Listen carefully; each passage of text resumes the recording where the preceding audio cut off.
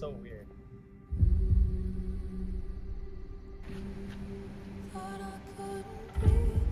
I peek in, I'm looking through the window, trying not to be seen. I see Sarah, Maya, Michael, and Jeremy get in the car with Sarah. I'm always watching, I'm observing, I'm seeing what people are up to. So if they're going to do stuff like that, they need to be a little more careful. I have my new sheep Elise, Alexandra, Francisco, Mason, and Micah. And I'm a happy little farmer. You're not gonna put me on a time limit and tell me to find the idol, but thanks. Alright, come on boys, come on boys! Yeah! Macho Quacho, okay. So the four of us just kind of clicked really well. We're like, oh my gosh, it's like Jimmy John's Alliance. It's not over. That's why I love Survivor.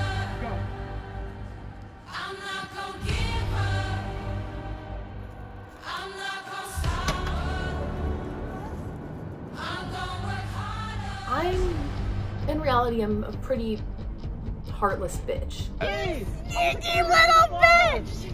Barbie and Ken from Dionysus, they need to wake the fuck up. How do you think you're helping yourself when you're just like insulting everybody? If I was trapped in a room with Francisco, I'd probably kill her. Dang. It was me that brought up.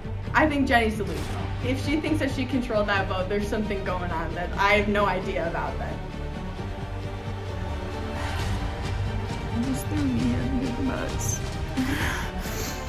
What the fuck? and also they said that you don't they don't you don't have the dog to do anything about it. Yeah. yeah, They- they, oh, said Fuck around and They- find out. Let's make a uh, move. they said Jeremy can fuck right on. We just spent the past like 30-ish minutes texting with Ryan as Stephanie Wang, the journalist. See this, Sam? Watching this? You're an idiot sandwich. The Stephanie Wang nonsense better not come back to bite me. Parvati. Yeah, okay, maybe maybe I resemble her a little bit. Maybe. Maybe I'm a little bit of a flirt. You can't tell if she has a crush on me or not. Maybe I just said it with ego. I did re-download Tinder with the intent of finding Francisco. There's a silence.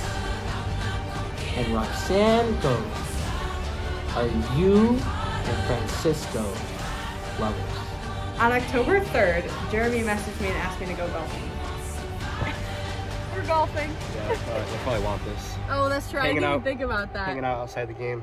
Do I normally blush when I think about Jeremy? Maybe a little.